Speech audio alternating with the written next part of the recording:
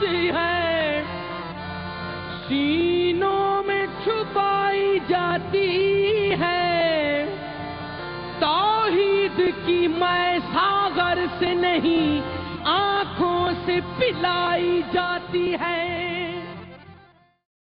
میاں میر کا اصل نام میر محمد اور لقب میاں میر یا شاہ میر تھا۔ وہ پندرہ سو اکتیس عیسوی میں ٹھٹھا اور بھکر کے درمیان واقع مقام سیوستان میں پیدا ہوئے۔ جب پچیس برس کی عمر کو پہنچے تو لاہور چلے آئے اور محلہ باغبانہ میں مقیم ہوئے۔ یہی علاقہ ان دنوں لاہور کینٹ کہلاتا ہے۔ آپ اپنے ارادت مندوں کو کم کھانے، کم بولنے اور کم سونے کی تلقین کیا کرتے۔ یہاں بہت بہت عقیدت مند آتے ہیں، سندھ سے، فیصل آباد سے یعنی کہ پاکستان کے تمام شہروں سے۔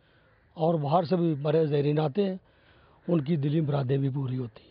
آپ مٹی کے برتن میں چوبیس گھنٹے کے دوران صرف ایک بار کھانا کھایا کرتے میاں میر کا کول تھا کہ انسان تین چیزوں نفس دل اور روح کا مجموعہ ہے۔ آپ سترہ ربیع الاول کو اس دار فانی سے کوچ کر گئے۔ پچی کاری اور نقاشی سے مرسع آپ کا مزاج دارا شکو نے تعمیر کرایا۔ پچھلے سال اس ہوا تھا لنگر لینوں میں بانٹ کے دیا گیا تھا۔ اس دفعہ میں کوکاؤ کی طرف سے کمپلیکس بنا ہے۔ اوقاف نے بنایا ہے اس پہ کافی لاگت لگی ہے۔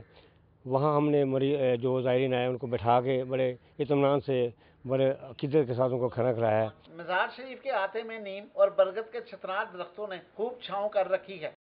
حضرت میاں میر کا مزار اور رنگ زیب عہد سے لے کے آج تک کتنے میں ہی سربستہ رازوں کا امین رہا ہے۔